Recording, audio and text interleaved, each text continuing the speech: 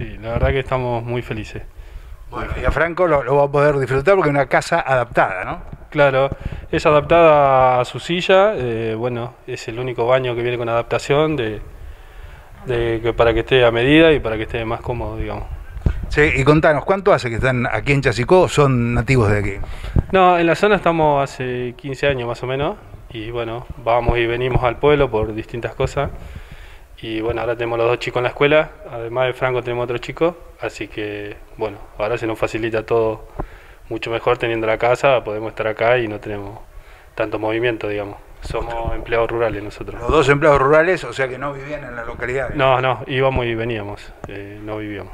Lo cual demandaba un esfuerzo enorme. Claro, sí, con los costos que tiene toda hora trasladarse, eh, sí, demandaba un esfuerzo enorme. Ustedes no fueron a sorteo, ¿no? Directamente a adjudicación. No, no, nosotros éramos eh, dueños de los terrenos cuando en la anterior gestión se, se dio los terrenos, se había vendido en cómodas cuotas, bueno, nosotros habíamos comprado el terreno, después vino la vivienda arriba y bueno, nosotros ya sabíamos que no tocaba, digamos.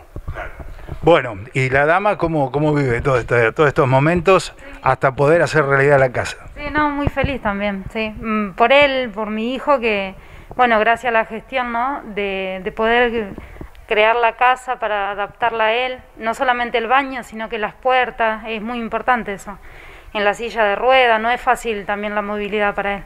Así Claro, que yo, sí. yo me imagino ustedes trabajando en el campo, teniendo que cuidarlo a, a él, eh, se complica un poco, ¿no? Y, y no pudiendo no pudiendo tener la casa dentro de la misma localidad. Sí, sí, sí, se nos complica, o sea, la casa es muy grande donde estamos en este momento y sí, no tener esa comodidad para él, todo, sí, se complica y tener que viajar siempre, porque él además de ir a la escuela tiene tratamientos, todo, y bueno, eh, es complicado, sí, para un nene discapacitado, sí. Bueno, ¿y a partir de qué momento se dieron cuenta de que esto iba a ser una realidad? Porque Una cosa es tener el terreno y otra cosa es poder abrir la puerta de su propia casa.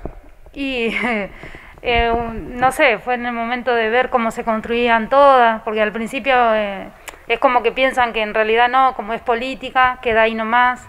Pero bueno, siempre nosotros positivos, pensando en eso de, de que sí, que se va a terminar, que, que hasta que llegó el momento, ¿no es cierto? Pero sí.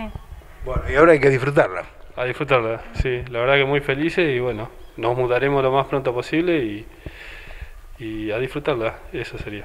Y decididos a seguir viviendo en Chasicó, que es lo importante. Siempre, siempre. Siempre nos gusta el lugar, eh, adoramos el lugar, tenemos nuestros mejores amigos acá y siempre Chasicó es nuestro lugar en el mundo, digamos.